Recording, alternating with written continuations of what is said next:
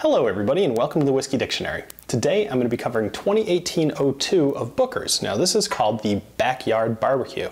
Now you might notice that this is a little different for me. I've never actually reviewed just a little sample on the channel, a little bitty sample. but I will say that I simply could not find this anywhere. So I had to reach out to Booker's and say, hey, could you guys send me a sample? I, I just can't find this anywhere. And so they did. They actually sent me two samples and I'll be reviewing the other one very shortly, but I'll, I'll leave that a mystery for now. That being said, as always, my opinions are my own. I'm not about to ruin my integrity over a little sample of Booker's, so don't worry about that. If it sucks, as always, I'll tell you.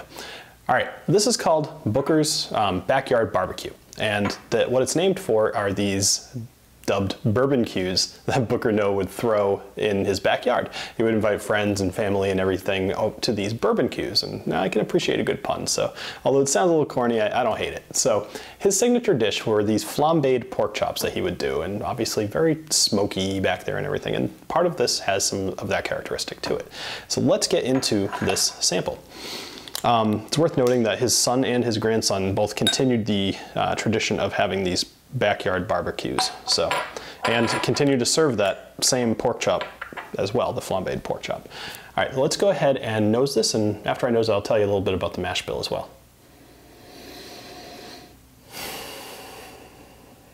All right, so this is 64.4% ABV, if I remember correctly. Pretty high. Um, there's virtually no alcohol burn, though, which is fantastic and shows a good balanced bourbon.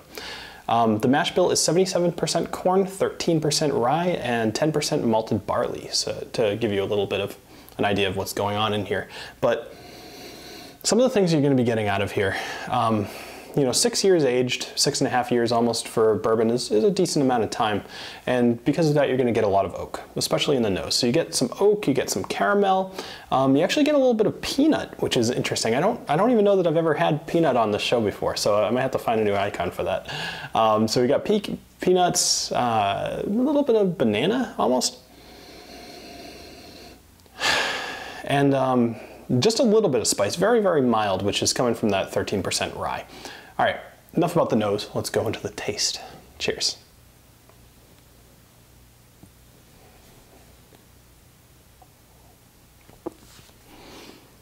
Alcohol coming out just a little bit more in there, but not bad. Not bad for, at all, actually. Um, once again, very odd, but uh, peanuts, peanuts coming out again.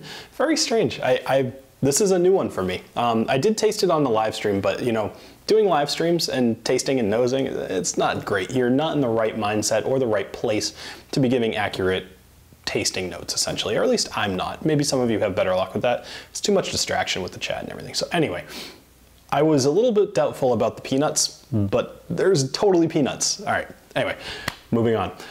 You're gonna get a lot of caramel. Once again, pretty typical. A lot more of the spice uh, than came across in the nose for sure.